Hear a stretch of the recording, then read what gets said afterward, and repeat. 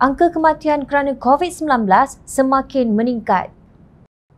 Menteri Penyelaras Program Imunisasi COVID-19 Kebangsaan PICK Khairi Jamaluddin dilaporkan memohon maaf susulan masalah teknikal ketika permohonan pusingan kedua janji temu vaksin AstraZeneca Rabu lalu.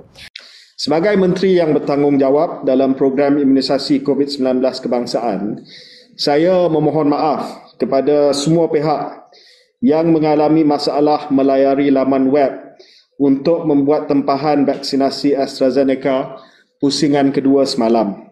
Ia sepatutnya berjalan dengan lebih baik. Sebagai contoh, ada tarikh dipaparkan di skrin menunjukkan warna kelabu dan bukan lagi hijau menyebabkan pengguna menekan tanpa henti hanya untuk diberitahu slot tempahan telah penuh. Ada beberapa perkara lagi tidak sepatutnya berlaku seperti pengguna tidak dimaklumkan permohonan berjaya diterima ataupun tidak dan sebagainya. Demikian antara alasan Menteri Sains, Teknologi dan Inovasi dalam kenyataannya selepas beberapa pengguna berang akibat kelemahan sistem pemproses permohonan untuk mendapatkan vaksin COVID-19 tersebut. Beliau berkata pihaknya menyedari isu berkenaan selain memahami kemarahan dan kekecewaan orang ramai terutamanya golongan yang gagal mendapatkan slot tempahan dikehendaki mereka.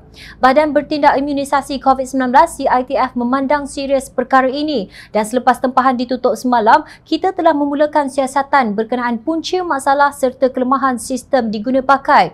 Kini siasatan sedang dilaksanakan dan diketuai Unit Permodenan Tadbiran dan Perancangan Pengurusan Malaysia mampu bagi mengenal pasti dan mengatasi masalah terbabit untuk tindakan seterusnya, katanya.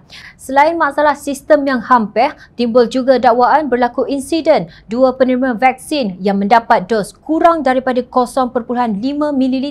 Mengenai perkara ini, CITF menegaskan pihaknya akan mengambil tindakan pada mereka yang tidak memenuhi mutu perkhidmatan yang ditetapkan termasuk pakar perubatan swasta yang diuruskan oleh Protect Health Corporation Sendirian Berhad yang terlibat dengan program imunisasi itu.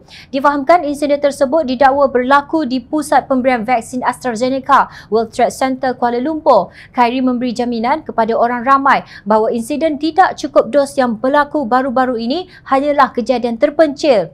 Kita juga ada prosedur operasi standard yang baharu di mana sekarang pemberi vaksin perlu menunjukkan kepada penerima vaksin alat suntikan tersebut untuk menunjukkan dos yang cukup telah diberikan dan jika penerima berpuas hati, mereka boleh meneruskan vaksinasi, kata Khairi seperti dipetik Malaysia kini. Begitulah caranya Kerajaan Perikatan Nasional menyelesaikan masalah dengan meremehkannya sebagai kejadian terpencil. Bagaimanapun pengurusi Pakatan Harapan Datuk Seri Anwar Ibrahim dalam kenyataannya berkata beliau tidak dapat menerima sama sekali sebarang kelemahan dalam sistem suntikan vaksin kepada orang ramai. Pelbagai alasan tidak masuk akal terus diberikan menteri dan ini ternyata sesuatu yang sukar diterima. Rakyat terus dibiarkan mengemis demi mendapatkan vaksin bagi meneruskan hidup, tegas beliau dalam satu kenyataan. Pakatan Harapan menegaskan beberapa kali bahawa peluang perolehan vaksin ini harus dibuka kepada kerajaan negeri dan syarikat yang berkemampuan supaya ia dapat disegerakan namun kerajaan masih lembab dan beri pelbagai helah. Inilah satu lagi contoh hasil kerajaan kakistokrasi. Perikatan Nasional akan termaktub dalam sejarah Malaysia sebagai kerajaan paling gagal. Nokta.